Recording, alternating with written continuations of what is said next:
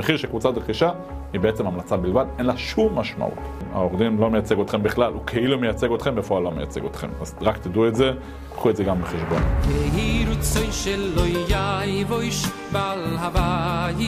בעל בוגוי לא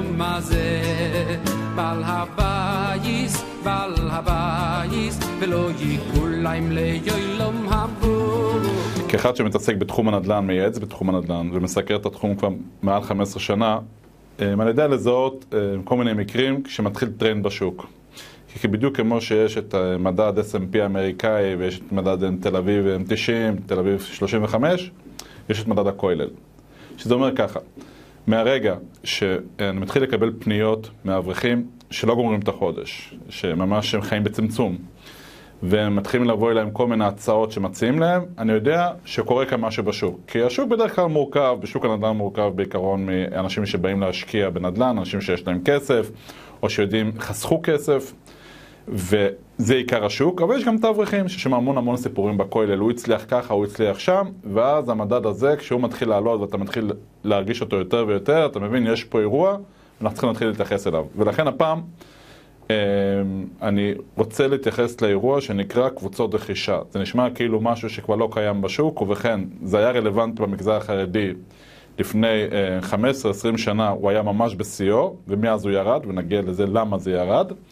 והוא חוזר מאוד בשנה האחרונה, בדגש על החודשים האחרונים, ולכן אנחנו נרחיב קצת את הדיבור על זה. אני כבר אגיד כאן מראש, אני לא מתכוון לאף אחד, לא לשום קבוצה, לא לשום יוזמה, אני לא מדבר על אף אחד באופן אישי, אני מדבר באופן כללי על התופעה ועל אנשים שרוצים לבוא ולחתום על רכישה במסגרת הקבוצות, לדעת לקראת מה הם נכנסים.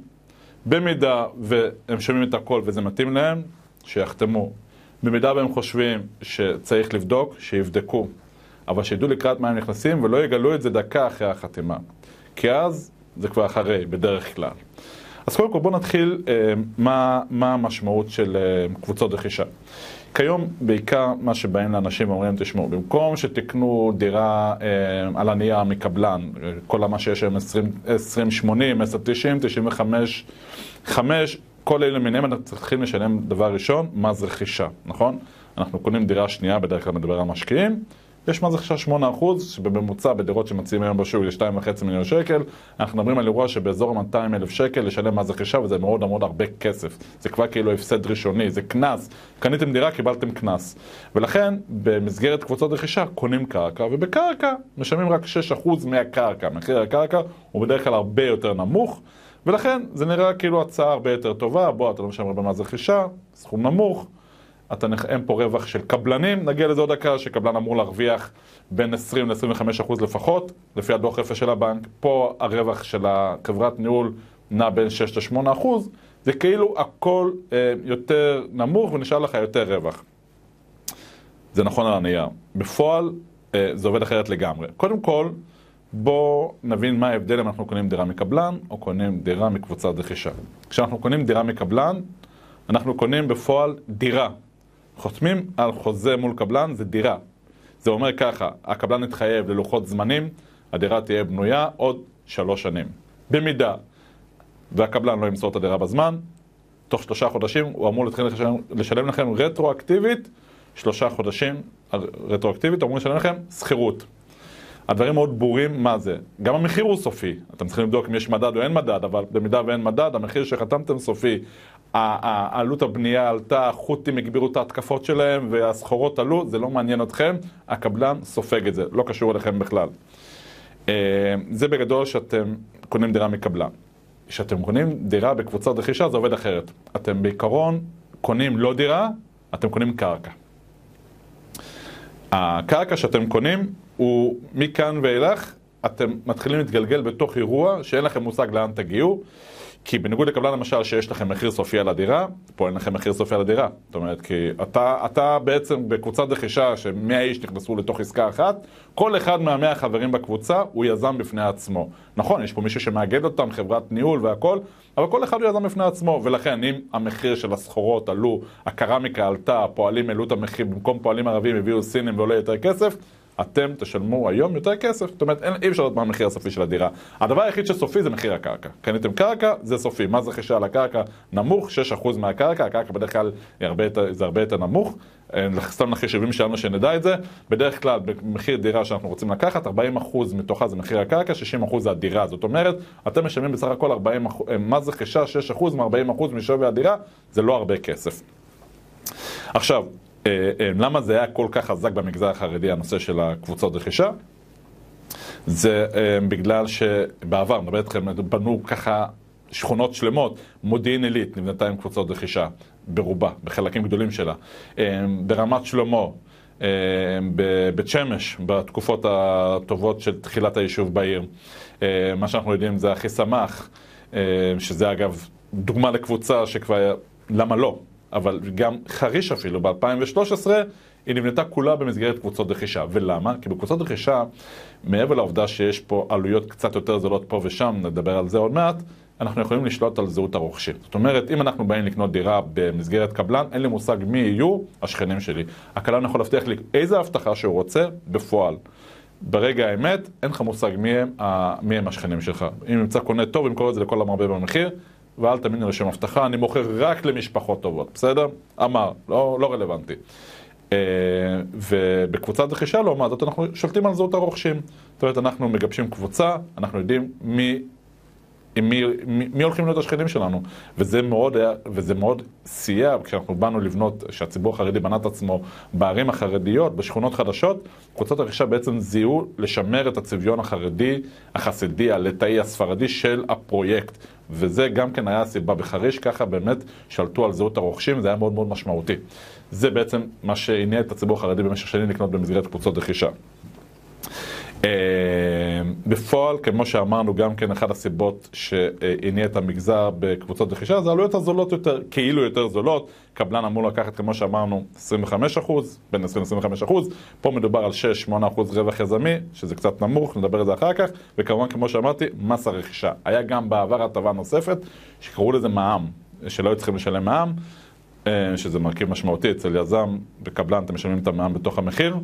פה לא שילמו את זה, בדבר הזה זה השתנה לאחרונה וכנראה היום כן משלמים, הסעיף הזה הוא, לא, הוא פחות משמעותי. עכשיו בואו נבדוק באמת איך זה עובד בתכלס, בסדר? באנו, קנינו, מה, מה, מה, איך, מה בעצם התנהלות. אז בעוד שאנחנו רגילים אצל אה, קבלן, אנחנו מתעסקים מול הקבלן, בסדר? יש קבלן, מולו אנחנו עוסקים, חתמנו חוזה, אה, קיבלנו פנקס שוברים, אנחנו מתחילים לשלם לפי קצב את כמות הבנייה, חוק מכר, הכל תקין. אגב, חוק מכר לא קיים, ב, לא קיים בקבוצות רכישה, זאת אומרת אין לכם שום ערבות שהדירה שלכם תיבנה. אה, כאילו מול מי אתם חותמים, כשאתה בא, אתה חותם מול יזם, חתמת מולו על חוק מכר, אבל כשאתה עצמך יזם בקבוצת רכישה, מול מתחתו, מול עצמך, לא רלוונטי. וזה הסיפור של ה... ולכן זה בעצם גם כן אחד הדברים שדי מהותי בסיפור הזה. עכשיו, כשאנחנו מתקדמים ובאים וקונים, מי שהולך לנהל אותנו זה לא הקבלן, אלא ינהל אותנו בפועל חברת הניהול. נא להכיר, נעים להכיר, חברת ניהול. אין קבלן, יש חברת ניהול, היא מקבלת את כל ההחלטות במסגרת קבוצת הרכישה. בסדר? זאת אומרת, אנחנו צריכים, זכו בקרקע, בסדר, כל אחד שם 40% מהקרקע, לא משנה איך שהוא, זכו, שילמו לרשות מקרקעי ישראל או לגורם פרטי, שילמנו, אוקיי, עכשיו אנחנו מתקדמים הלאה, בסדר? מה השלב הבא שאנחנו מתקדמים? אנחנו צריכים לשלם ליועצים, נכון? כדי לקבל היתר בנייה צריכים לשלם ל-14 יועצים. תחבורה, נוף, אין ספור יועצים שלהם צריך לשלם כדי לקבל את ההיתר הבנייה, זו דרישה של הרשות המקומית. אז כמובן כל אחד מכניס יד לכיס ומשלם את היועצים, בסדר. זה מתחלק בין כולם. חברת ניהול תקבל את ההחלטה בפועל מי יהיה הקבלן שיבנה את הפרויקט, מי יהיה, הכל, הם מקבלים את כל ההחלטות ואתם צריכים לסמוך על שיקול הדעת של חברת הניהול, בסדר? ולכן, בקבוצת רכישה כשבאים לקנות, הדבר הראשון שצריך לבדוק מעבר לנושא של המחיר של הקרקע שהוא סביר וכל זה, מי חברת הניהול. אם לחברת הניהול יש רזומה טוב, אם חברת הניהול כבר בנתה בעבר פרויקטים במסגרת קבוצות רכישה, או שאתם הולכים להיות שפני הניסיון. אם, זה, אם זו פרויקט ראשון שלהם, אם זה פרויקט ראשון, אל תחתמו, אין לכם אפילו מה לבדוק. אם זו חברה שכבר, חברת ניהול שכבר יש את הרזומה, תבדקו מה היא בנתה עד היום. תבדקו, תבקשו לקבל טלפונים של רוכשים שקנו אצלם דירה במסגרת קבוצת רכישה, הם היו מרוצים או לא היו מרוצים. אם הרוכשים היו מרוצים, זה כבר סימן טוב, זאת אומרת, מדובר פה בחברת ניהול מקצועית שיש בכלל על מה לדבר. אה, ותזכרו כי חברת הניהול זה הסיפור המרכזי, קשה מאוד להזיז חברת ניהול, ש... זאת אומרת חוקית, תיאורטית חוקית, אם כל החברים מתאגדים ויש רוב, עושים הצבעה בקרב כלל החברים, אפשר לפטר את חברת הניהול, לקחת מישהו אחר. זה הליך מאוד מאוד מסובך, חלקם מחתימים אתכם כבר בהצטרפות, בהסכם שיתוף שכל אחד חותם. שקשה לפטר אותם, עזבו, בדרך כלל קשה מאוד לפטר חברת ניהול, וכשאם הצלחתם לפטר, זה אירוע, זה נגמר בדיני טוירס, במקרה הטוב, במקרה הפחות טוב זה נגמר בבתי משפט.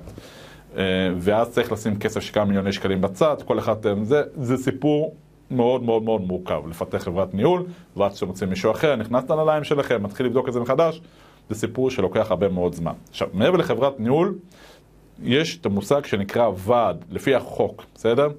אה, קבוצת רכישה, שהיא מתאגדת, לא משנה כמה חברים יש בה, יש שם נראה לי בין חמש לשבע חברי ועד. זאת אומרת, מכל החברים, בואו ניקח דוגמה, יש קבוצת רכישה של 100 איש, התאגדו ביחד, חתמו על הסכמי שיתוף, הכל בסדר, עכשיו הולכים לבחור ועד. מבין החברים, אנחנו, החברים, יש 100 איש, מתכנסים למקום אחד, ואז שואלים, אוקיי, מי רוצה להיות חבר בוועד? יפה. קם אחד, אומר, אני רוצה להיות, מספר על עצמו, מה הרזומה שלו, מה הוא יודע, והחברים מחליטים אם לבחור בו או לא. במידה ויש רוב, הוא נבחר. ככה בוחרים בין חמישה לשבעה חברים, בוחרים לוועד. מה התפקיד של הוועד? התפקיד של הוועד זה בפועל לנהל את הקבוצה. בוא, אנחנו אמרנו שיש חברת ניהול, וזה נכון, כי חברת הניהול תקבל את כל ההחלטות המקצועיות.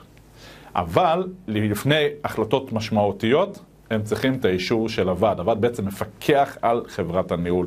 חברת הניהול רוצה אה, לשכור את השירותים של קבלן, והיא עשתה מכרז והגיעה למסקנה שזה הקבלן הטוב, אין בעיה.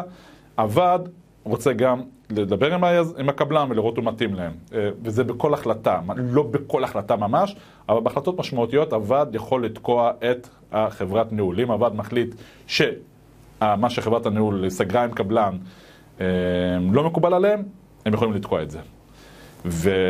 ומה המשמעות לתקוע לא לתקוע, נספר לכם מניסיון שלי אה, בוועד של, של אה, קבוצות רכישה, זה ככה. אם יש ועד מקצועי, זה אומר שבין החברים יש חבר'ה שמתמצאים בתחום הנדל"ן או מבינים קצת בעניינים האלו, הדברים יזרמו יותר טוב. כי הם מבינים, הם יודעים בדיוק אה, על מה להתעקש, על מה לא להתעקש. אם במסגרת הוועד נבחרו אנשים שאין להם שום מושג ירוק בנדל"ן, הדבר היחיד שהם עשו בנדל"ן עד היום, זה שהם הוציאו מרפסת בלי היתר בנייה. ורבו עם כולם שם, והם סבורים שהם צברו את הניסיון הנדרש. בדרך כלל הוועד כזה עומד לתקוע את הקבוצה לאורך ימים ושנים רבות. ואני מדבר איתכם מלא סיפור אחד ולא שתיים ולא שלוש. ועד לעומתי יודע לתקוע את הדברים. עכשיו יותר מזה, בוועד עם הזמן פתאום הוא מגלה, תראה, בואו, מתחיל לגלות פה עשרות מיליוני שקלים שזורמים אה, לספקי שירות שונים, ואז הוא מחליט שהולך ללמוד את הנושא הזה. הוא לומד, הוא כבר יהפוך לבד ליזם, הוא כבר בטוח שהוא מבין בהכל, הוא רוצה לדעת כל פרט, והוא כן מבין והוא לא מבין. זה סיפור ואירוע מורכב אם נתקענו עם ועד לא לעניין, אז זה דבר, אבל בפועל הוועד תוקע הרבה מאוד, הוא גם עוזר הרבה מאוד, אם זה מקצועי, אם זה לא מקצועי, שהשם ישמור. אבל אנחנו לא יכולים לדעת מי יהיה הוועד, כי רק אחרי שהקבוצה התאגדה, רק אז בוחרים ועד. אז זה דבר שצריכים לדעת, שזה אירוע, אנחנו צריכים להיות ערוכים לקראתו ולדעת את זה, בסדר? עכשיו, אני אתן לך סיפור קטן, אה, מה, המשמעות של ועד. זה הסיפור הזה, נראה לי כבר יש לו 15 שנה, בסדר? אה, והוא קרה בבית שמש, באחד הפרויקטים של קבוצות רכישה, באו לקחת מימון מבנק מזרחי. עכשיו, בנקים לא נותנים כמעט מימון לקבוצות רכישה, נדבר על זה עוד מעט, אבל הם, הבנק פה הסכים לתת מימון, הוא רק דרש להביא אישור מעורך דין שיעבדו מול העורך דין שלהם. הם נתנו שם של עורך דין מסוים בתל אביב, שהבנק אומר, אנחנו סומכים עליו, אנחנו רוצים שיבדוק את הקבוצה והכל, תזכרו את השירותים שלו. כמה עלה לסקון? עלה עלה באזור ה-100 אלף שקל, לא קצת כסף, לא סוף העולם. זה מה שהבנק דרש. כמובן, החברת ניהול רצה לזכור ולסגור את העניינים. פה הוועד אמרו, מה פתאום, מה 100 אלף שקל? יש לנו פה עורך דין ששילמנו לו לקבוצה והכל, מה פתאום לשלם עוד 100 אה, אלף שקל עכשיו לזה? לא יקום ולא יהיה. הקבוצה נתקעה עם מימון, נראה לי מעל שנתיים וחצי, שלוש, לא היה להם מימון. אה, עכשיו תעשו לבד את החשבון, בגלל ההתעקשות הזו. עכשיו תעשו לבד את החשבון, מה קורה? אה, אה, תחלקו בין, היה מדובר נראה לה 70 רוכשים, תעשו, תחלקו 100 אלף שקל ל-70, כמה זה יוצא לכל אחד? גרוש וחצי. לעומת זאת, שהפרויקט יתעכב בגלל חוסר מימון במשך שנתיים וחצי, כמה שכירות כל אחד מהם שילם בשנתיים וחצי האלו, ותקבלו מושגים איזה נזקים יודע לעשות ועד שלא מבין בתחום הזה בכלל. הוא כאילו מרגיש שהוא עזר לחברים ולא בזבזו פה 100 אלף שקל. בסדר, אוקיי. עכשיו, בואו נדבר על הקטע של המימון, בסדר? כי הקטע של המימון הוא המשמעותי ביותר בתחום של אה, קבוצות הרכישה. כמו שאמרתי, הבנקים לא אוהבים לתת כסף לקבוצות רכישה. למה? אלף ואחת סיבות, זה בעיקר סיבות של אה, רגולציה, אה, של בנק ישראל שמקשיח מאוד את ההון העצמי שהבנק צריך להעמיד מול, מול, מול כסף שמקצה לקבוצות רכישה. שורה אחרונה, אין, הבנק, את לא תראו כמעט כסף מהבנקים. בנק מזרחי כן נכנס לתחום הזה לאחרונה, אבל עדיין זה מאוד מאוד מאוד מסובך. עכשיו, גם כשאנחנו הולכים לבנק ורוצים לקבל מהם כסף, סביר להניח שהתהליך בבנק ייקח חצי שנה, שלושת רבעי שנה, ולא בטוח שכולם יעברו, ואני אסביר איך זה עובד. מה זה שונה כשאני בא לקחת מימון, כשאני קונה דירה מקבלן, וכשאני בא לקנות דירה בקבוצת רכישה. טוב. כשאני מגיע לקנות דירה מקבלן, ומגיע לבנק, אני רוצה הלוואה, משכנתה. הבנק אומר לי, אוקיי, מה ההכנסות שלך? מה ההוצאות שלך? כמה כסף אתה צריך? בוא נבדוק מה ה-BDI שלך. אם הכל תקין, קח את הכסף. רק צריך לריב על ריביות. זהו, האירוע נגמר. זאת אומרת, לצורך העניין, שכן שלי שקנה אצל הקבלן והבנק לא אישר לו, זה לא מעניין אותי מה קורה איתו, בסדר? הבנק אישר לי, הכל בסדר. זה שהוא לא אישר לשכן, זה בעיה של הקבלן, לא שלי. מה שקורה בפועל בקבוצות רכישה, שכל המאה איש, אני תופס דוגמה של מאה, כן? זה לא משנה, זה יכול להיות 20 איש, זה יכול להיות 500 איש, אבל כל חברי הקבוצת רכישה ביחד, הם כולם נמצאים באותה סירה. זאת אומרת, אם לצורך העניין בקבוצה יש אה, אחד שהבנק לא העביר אותו, כי הוא בעייתי, ובדרך כלל, בתוך 100 איש לצורך העניין, סביר להניח שיהיו חמישה שהבנק לא יאשר אותם, עוד עשרה שיעברו רק אחרי שנתחנן בפני פקיד הבנק שיסכים לאשר אותם איכשהו, וכל השאר, בסדר, יעברו. אבל יש תמיד חמש שלא יעברו. אדומים, ב-BDI, אין להם הכנסות, לא יודע מה, לא עוברים. יש פתרונות לזה, בסדר? אבל הפתרונות הם מורכבים, ולא תמיד הפתרונות הם עוזרים. מבחינת הבנק, יש אחד שלא עבר, אין מימון לקבוצה. מבחינת הבנק, תוציא אותו החוצה, את הבן אדם הזה, תמכרו את הדירה שלו למישהו שלישי, זה לא מעניין. עכשיו, זה תהליכים שלוקחים זמן, כי הבן אדם, אתה בא להגיד לו, תשמע, הבנק לא אישר אותך. מי זה הבנק בכלל שלא אישר אותי? מאיפה יש את החוצפה הזו שלא לאשר אותי? חודש שלם רבים, בסדר. הוא אומר, אני אביא, אני אביא ערבים, אני אעשה, ואז הוא מביא ערב, אתה מגלה שגם הערב לא עובר, בסדר? שזה במקרה השוער שלו לא עובר, מה לעשות? וזה להביא את אבא שלו, את אח שלו. בקיצור, סוחב ככה את הקבוצה ארבעה חודשים. אין לכם מה לעשות מול זה. זה אירוע מאוד מאוד מורכב כשזה בבנק. ולכן, מה שקורה בדרך כלל, מי ששולט היום בקבוצות הרכישה בעשור האחרון, זה השוק החוץ-בנקאי. הגופים החוץ-בנקאיים הם יותר גמישים בחיתום, זאת אומרת בלהעביר או לא להעביר, והם יודעים גם להביא פתרונות יותר יצירתיים, והדברים עובדים אה, בצורה, בצורה מסוימת, הקבוצות, הגופים החוץ-בנקאיים הצליחו להציל את קבוצות הרכישה שהיו תקועות במשך הרבה מאוד שנים, אבל יש לזה מחיר, בסדר? זאת אומרת, יש חוץ-בנקאי, ויש לזה תג מחיר. מה התג מחיר? הריבית. זאת אומרת, אם אנחנו כיום, בואו נדבר במושגים של היום, הריבית של בנק ישראל היום 6%, סביר להניח שקבוצת רכישה שתבוא היום לחתום, תצטרך, לש... זאת אומרת כל אחד שיקח הלוואה במסגרת הקבוצה, יצטרך לשלם באזור ה-10% ריבית, זאת אומרת פריים פלוס 4, פריים פלוס 5, פריים פלוס 3.5 במקרה הטוב, בואו נצטגר באזור ה-10% ריבית. זה, זה הריבית שהיום תשלמו, זה הרבה מאוד כסף, בסדר? Uh, עכשיו, אין אפשרות לא, שמישהו יגיד, רגע, רגע, רגע, מה, אני לקוח תקין, אני אלך לבנק. לא. עם הקבוצה, כולם לוקחים רק מגוף אחד, ככה זה עובד, כי הם משעבדים את הקרקע לגורם אחד, ורק הוא יכול לתת את הכסף. זאת אומרת, כולם חייבים לקחת את הכסף הזה, או שאתה מביא כסף מהבית, זאת אומרת, אתה משעבד את הדירה הפרטית שלך, אבל שימו לב, שאיבדתם את הדירה הפרטית שלכם, אתם צריכים להביא את כל הכסף, שזה אומר בואו רק במספרים, אם קניתם דירה ששווה 2 מיליון שקל, ואתם צריכים עכשיו לקחת הלוואה של מיליון שקל. יש לכם אפשרות לקחת מהגוף החוץ-בנקאי, שישחרר לכם את הכסף תוך כדי התקדמות הבנייה, זאת אומרת, כל שלב הגוף משחרר עוד כסף ואז גובה ההחזר שלכם עולה, אבל זה ריבית יקרה, ואז אנחנו מביאים את זה מהבית. אז לפי כל החוקים של החוץ-בנקאי, ומקובל גם על הבנקים בכל המקומות, את המיליון שקל שאתם מביאים מהבית שלכם, כי אתם רוצים לשלם ריבית נמוכה, אתם תצטרכו להפקיד את כל המיליון בבת אחת בחשבון נאמנות, בסדר? זאת אומרת שאתם משלמים ריבית מהיום הראשון על כל המיליון למרות שלא השתמשתם בו. אז קחו את זה בחשבון, לא תמיד זה שווה. אי אפשר להפקיד כל פעם עוד סכום, זה פשוט לא עובד. אם הבאת את זה מהבית הכסף, צריך להביא את כל הסכום ביחד. אם אתה לוקח את זה במסגרת ההלוואה הקבוצתית, אז זה לפי התקדמות הבנייה, ואז באמת תשלם ריבית יותר יקרה. טוב, כשאנחנו מדברים על חוץ בנקאי, הרווח של החוץ בנקאי בנוי אה, אה, משני מוקדים מרכזיים. אחד, זה עצם הריבית, בסדר? משלמים פה עשרה אחוז, כמובן יש להם משקיעים שעומדים מאחוריהם וצריך להתחלק ברווחים, אבל זה רווח אחד, אבל הרווח האמיתי שלהם, לא, הוא רווח מאוד משמעותי, זה בפתיחת תיק. אה, פתיחת תיק זה אומר שבדרך כלל הם באים לקחת משכנתה, משלמים 360 שקל על משכנתה ולא משנה מה גובה הסכום, וקבוצת רכישה על מיליון שקל, סביר להניח שתשלמו באזור 30 אלף שקל פלוס מע"מ, בסדר? אלו המחירים, 30 אלף פלוס מע"מ. אני לא אכניס אתכם לנוסחאות, כי כל, כל חברה עובדת בנוסחה אחרת, אבל זה בגדול הסכום שתשלמו. הסכום יותר קטן, תשלמו פחות, אבל הסכומים זה בעשרות אלפי שקלים.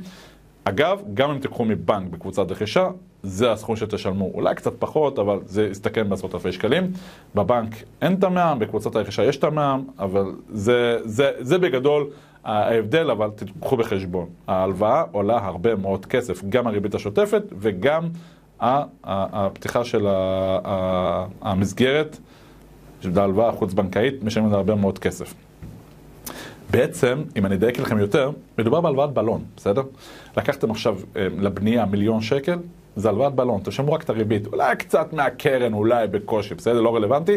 זה, זאת אומרת, אם לקחתם מיליון שקל, אתם תפגשו את עצמכם בעוד שנתיים וחצי, שלוש, שסיימתם את הבנייה, עם מיליון שקל חוב. בעצם כל מה ששילמתם במהלך שלושת השנים של הבנייה, לא ירד לכם כלום, ואז בסוף הבנייה אתם ממחזרים את הכסף הזה בבנק.